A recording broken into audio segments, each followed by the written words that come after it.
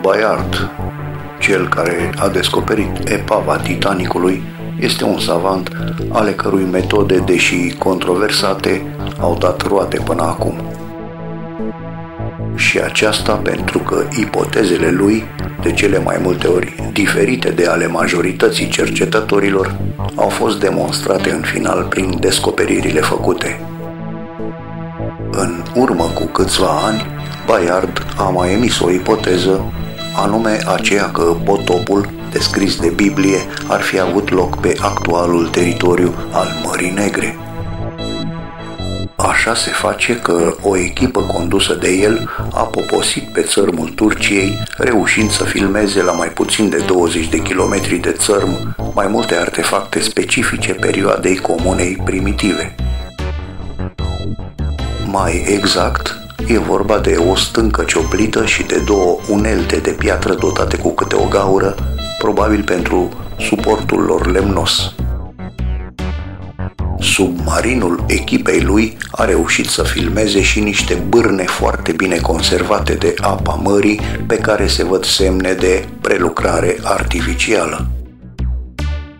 Aceste descoperiri arată că în urmă cu foarte mulți ani Marea Neagră a fost un lac al cărui țărm era locuit. În perioada de sfârșit a erei glaciare, din cauza încălzirii atmosferei și topirii ghețarilor, nivelul Mediteranei a crescut fără precedent. Apoi, în urmă cu circa 7000 de ani, din cauza presiunii apei și probabil în urma vreunui cutremur, fâșia de pământ care separa Mediterana de lac a fost pulverizată și apele sărate ale Mediteranei au inundat micul lac, transformându-l în ceea ce este astăzi. Torentul trebuie să fi fost fantastic. Forța apei a depășit de circa 300 de ori pe cea a cascadei Niagara, calculându-se că pentru echilibrarea nivelelor apelor ar fi fost nevoie de circa 40 de zile. În sprijinul acestei teorii, cercetătorii arată că în anumite zone ale fundului Mării Negre există ape dulci, rămășițe ale vechiului lac. Din cauza lipsei curenților și a oxigenului, acele ape au rămas neamestecate cu apa mării. Mai mult, acolo, mediul e lipsit total de oxigen, ceea ce înseamnă că există condiții optime de conservare a habitatului de acum mii de ani. Aici, trăind o civilizație prosperă, căreia îi aparțin construcțiile ciudate semnalate de sonar pe fundul apei. Și, ca totul să fie și mai încurcat, s-a pronunțat și cuvântul Atlantida.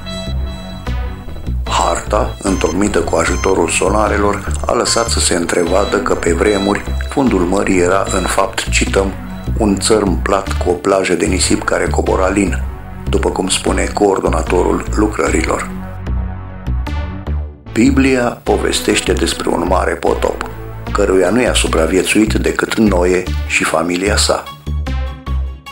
Deși în afara lor nu mai rămăsese niciun om pe pământ, fiii lui Noe s-au întâlnit totuși cu oameni.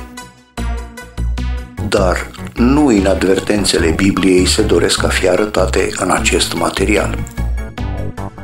Analizând scrierile vechi ale diferitelor popoare, constatăm că la fiecare găsim câte un potop din care s-au salvat foarte puțini. Ce e cel mai interesant e faptul că legendele românești vorbesc la rândul lor despre diverse inundații catastrofale. Dar cine să ia seama la niște povești? Și totuși, atunci când aceste povești sunt demonstrate fizic cu vestigii descoperite, lumea științifică amuțește – dă puțin înapoi și apoi încearcă să demonstreze noua ipoteză, uitând că tot ea refuza să accepte niște idei ce păreau a depăși realitatea construită cu migală de unii pseudo-cercetători timp de ani de zile. Michael Robinson, profesor la Universitatea din Ohio, este specializat în inundațiile catastrofale care s-au abătut asupra Pământului din cele mai vechi timpuri. El a fost unul dintre cei care au îmbrățișat ipoteza emisă de Robert Bayard când acesta afirma că potopul biblic a început în bazinul Mării Negre. Numai că, spre deosebire de Bayard, Robinson a preferat pentru cercetările sale nu țărmul turcesc unde echipa primului a descoperit doar o epavă de corabie veche de câteva mii de ani, ci țărmul nordic românesc, în apropiere de insula Șerpilor și unde aparatura a înregistrat niște construcții ciclopice stranii și piramide ce par de neînchipuit pentru zilele noastre. În cercetările mele m-am bazat mult pe textele mistice care arată că toate civilizațiile își au rădăcinile pe teritoriul patriei dumneavoastră și am avut acces la toate descoperirile făcute în România în acest sens, descoperiri de care românii nici măcar n-au auzit, a declarat Robinson profesorul își desfășoară cercetările și în lungul bazinelor râurilor românești, despre care consideră că sunt rămășițe ale unui fluviu imens care străbătea continentul eurasiatic și chiar ale unui lac cu apă dulce care acoperea România în urmă cu mai multe zeci de mii de ani. Ipoteza sa este destul de îndrăzneață, dar nu singulară. El afirmă că pe teritoriul României Mari ar fi fost fantastica Atlantida și că cetățile descoperite în munți nu sunt decât rămășițe a ceea ce a mai rămas din străvechea civilizație, după scufundarea acesteia. Mai mult, suprapune această ipoteză cu o alta, cea a originii potopului, punând egalitate între cele două evenimente –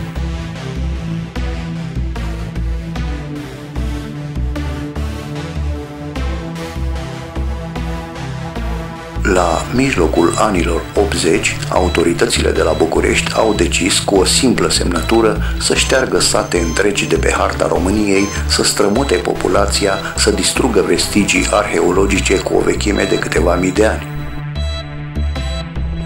Totul în numele unui așa zis proiect de canalizare a Argeșului, de făurire a mărețului canal Dunăre-București. Atunci, în mai puțin de o săptămână, câteva localități au dispărut definitiv din peisajul administrativ românesc.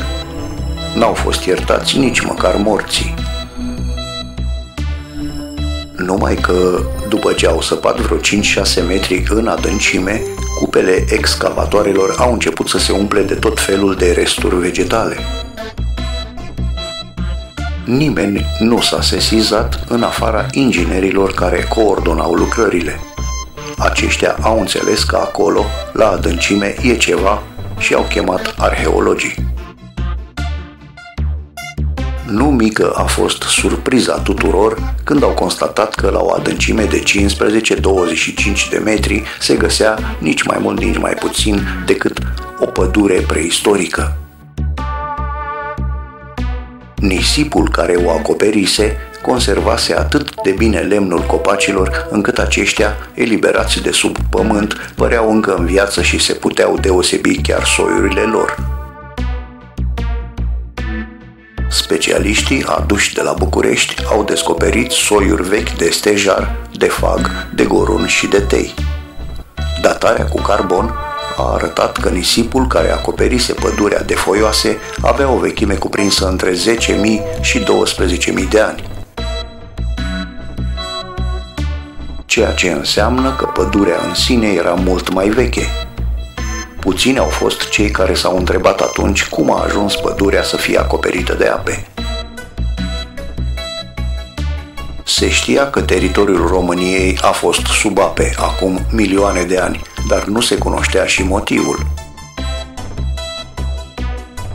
Nimeni nu bănuia că peste câteva zeci de ani Bayard urma să vină și să emită o ipoteză fantastică, anume că aici a avut loc marele potop descris de Biblie, în parte din cauza topirii ghețarilor și creșterea nivelului Mediteranei, fapt care a generat surparea limbii de pământ care o unea cu Marea Neagră. Apele din sud au făcut ca nivelul vechiului pont Euxin să crească mult și apele să se reverse pe teritoriile din jur. Ulterior, apele s-au retras și au permis apariția unei noi flore și faune. Dar oare ce cantitate de apă s-a revărsat asupra zonei argeșene pentru ca nisipul rămas în urma ei să aibă o adâncime de 15-20 de metri? Ce ape puteau alimenta o astfel de inundație? Descoperirea pădurii preistorice sub pământurile Argeșului i-au determinat pe specialiști să cerceteze și zonele apropiate. Rezultatele au fost fantastice. Pădurea se întindea pe o suprafață mare, între localitățile Glina, Bobești, Jilava, Domnești, Mihăilești, Cornetu. În plus, prospecțiunile arată că se întindea mult în sud, aria acesteia terminându-se probabil undeva pe teritoriul Bulgariei. În toate locurile, cercetările au arătat același lucru. Apele au acoperit zonele într-o perioadă extrem de scurtă pe care arheologii au estimat-o la doar câteva săptămâni. Așa ceva nu se putea întâmpla din cauza topirii ghețurilor, afară doar de cazul în care Terra a fost lovită de un meteorit. Ori, din câte știm noi, acum 10-12 de ani, niciun meteorit nu a lovit Pământul, afirmă un cunoscut paleontolog și biolog român. În sprijinul teoriei lui vine absența totală a sedimentelor de animale marine pe linia pe care se întinde pădurea preistorică. Lipsa acestora ne arată clar că zona nu a fost marină, ci inundată întâmplător iar compoziția nisipului sărat a conservat foarte bine copacii, mai afirmă paleontologul. Dar nu pădurea subterană a fost cea mai interesantă descoperire a arheologilor veniți la fața locului. Într-una din zile, săpătorii au scos la iveală o construcție bizară din lemn alcătuită sub forma unei mici fortificații. Cu toate acestea, nu s-au găsit deloc schelete umane sau animale în condițiile în care s-ar presupus că respectiva construcție nu s-a ridicat singură. Unde au dispărut cei care au construit ciudata fortificație de lemn este iarăși o întrebare fără răspuns. Pe de o parte, e posibil ca valul uriaș să-i fi surprins pe locuitori, iar ulterior trupurile lor, luate de apă, să fi fost mâncate de animalele marine. Dar, la fel de posibil, e și ca locuitorii să fi aflat din timp despre iminența valului ucigaș și să se fi retras pe înălțimile munților. Dar dacă acceptăm cea de-a doua ipoteză ca fiind mai plauzibilă, de unde puteau ști niște primitivi că oceanul va mătura zona Argeșului?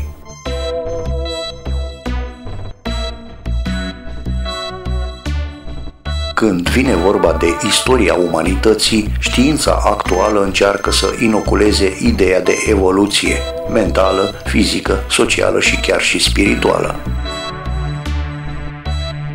Realitatea este însă alta toate civilizațiile care s-au succedat pe planetă au involuat, societatea actuală nefăcând rabat de la această regulă. E de ajuns să privim ce se întâmplă acum în lume pentru a înțelege acest fapt. Pornind de la pădurea antică descoperită pe linia Argeșului, ulterior s-au făcut săpături în partea opusă, pe Valea Prutului, și, surpriză, au fost descoperite depuneri stratificate de nisip cu aceeași compoziție ca și cel din sudul țării și datând din aceeași perioadă de timp, respectiv sfârșitul paleoliticului și începutul neoliticului. Nu au fost găsite și păduri de data asta, dar probabil că zona nu era una împădurită, ci de câmpie. În acel moment, cercetătorii au fost puși în fața unor întrebări fără precedent. ce fel de val putea să măture întreg cuprinsul țării și să aibă o înălțime de peste 100 de metri? Cum s-a format acel val? A devastat doar teritoriul României sau toată Europa? A fost un val oceanic cu apă sărată sau un val cu apă dulce? Dincolo de ipotezele cercetătorilor, locuitorii din Mihăilești continuă să scoată din carierele de piatră trunchiuri vechi de mii de ani și să le ardă în sobă. Un locuitor al acestei zone spune Domnule, noi suntem unicat în lumea asta. Noi nu mergem la pădure ca să tăiem un copac. Noi dezgropăm copacii de care avem nevoie pentru foc. Și numai bunul Dumnezeu știe cum au ajuns pomii ăștia sub nisip. Cei mai bătrâni spun că așa au rămas de la potopul cel mare de pe vremea lui Noe. Deocamdată nicio ipoteză nu a fost pe deplin demonstrată, iar numărul copacilor milenari descrește de la o zi la alta. Trebuie oare să condamnăm localnicii pentru că distrug urmele trecutului încercând să supraviețuiască? La urma urmei, nu așa au făcut dintotdeauna oamenii. Fiecare nouă civilizație a distrus-o pe cea veche. Și nu din răutate, ci din simpla dorință de supraviețuire.